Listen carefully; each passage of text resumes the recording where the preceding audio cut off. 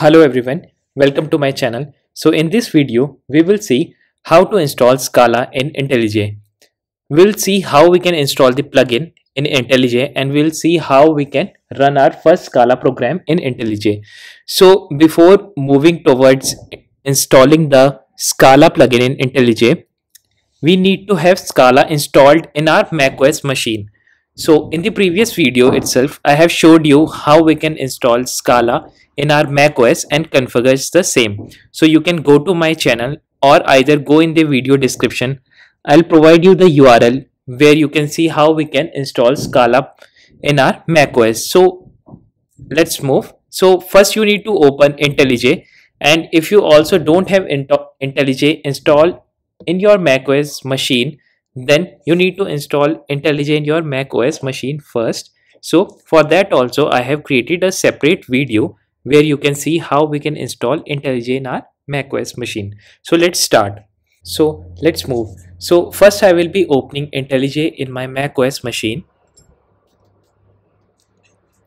Okay, I have already opened IntelliJ in my macOS machine. Now I will be uh, going to this file option and I will be just selecting the settings property. Okay, settings menu item option. And I will be selecting this plugins. And in the marketplace I need to you know click search for the Scala and then click on the search results. So you can see the Scala plugin we need to install and it's been provided by the JetBrains.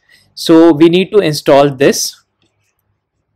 It will probably take few seconds depending upon your connection. Okay so our Scala plugin has been installed and now I'll just simply restart my IDE okay so we have restarted our IDE now I'm just going to click on file menu item option new and project. So we are going to create our first Scala project. So it's just you know fetching the available Scala version or whatever plugin that we have installed and it will you know apply your changes after opening the id after restarting the id so you can see the java build system IntelliJ or maven or gradle based you know plugin you wanted to have for your project. I have selected the Scala. So I'm just first Scala project.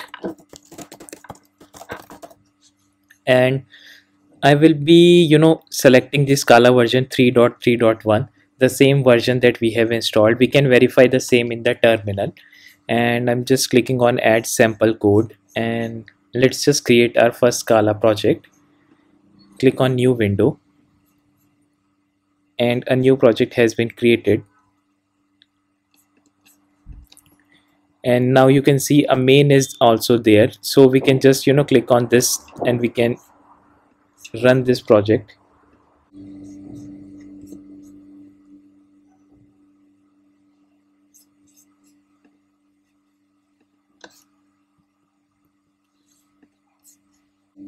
okay so i have waited for a few seconds you know because you know i have just installed the plugin and it will probably take a few seconds or probably a minute or two you know to you know actively you know uh, install everything for this scala to you know run in the run in your IntelliJ. So you know first this green button you can show the run button is not visible at that point of time. And just I, I just click on the notification in the SBT plugin uh, for the Scala to you know uh, so that the build files and everything would be set up uh, set it up in my IntelliJ so now you can see everything is there and I can easily run my program. So SBT is basically a build for the Scala and J Java project. So you know just like the Maven. So the Scala build tool is basically uh, you know used to you know run the uh, Scala based projects and everything in the IntelliJ. Just like the Maven, uh, Gradle or Ant we basically use for our Java based project. So now you can see everything has been set up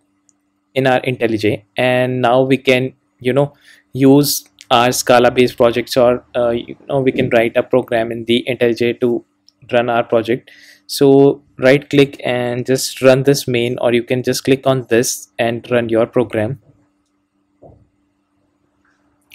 okay so you can see the output here and you can see that this program is running and we have successfully installed the plugin and you don't have to do any sort of configuration for here.